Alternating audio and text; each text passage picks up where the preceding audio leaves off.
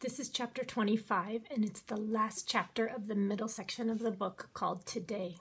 After this, the next section is called Tomorrow. Chapter 25. In the early evening, Jadra combed and braided Isadora's hair and tied purple ribbons to the ends. She brought piles of blankets to the kitchen and made soft beds on the floor. You both need to rest now. We must leave in the middle of the night. I'll wake you when it's time.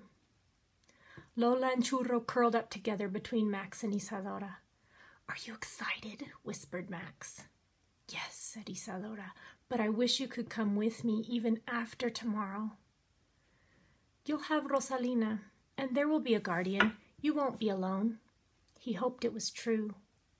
He hoped she'd always have someone to protect her. Besides, he teased, you'll forget me soon enough. No, I won't. Not ever. He smiled.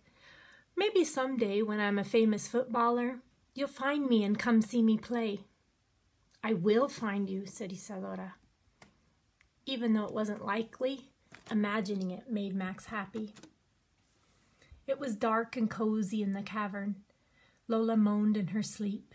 Max thought Isadora had drifted off too until she said, One more story? He was glad to keep talking. Once upon a time, there was a little girl who was very tired but could not go to sleep. Every time her eyes closed, they popped open again, like a caja sorpresa. It was only after she heard a magical song that she was finally able to slumber. He sang, Arroro mi niña, arroro mi sol, arroro un pedazo de mi corazón.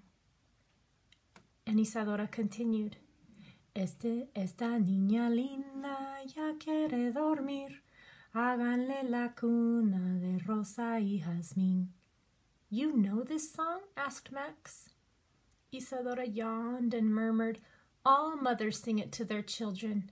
My mother sang it to her, to me, and her mother sang it to her. Was that why Max remembered it? Somewhere long ago and far away, had his mother sung it to him? Max hum, hummed the song softer and slower until Isadora was asleep. Buelo was right. It was going to be hard to say goodbye.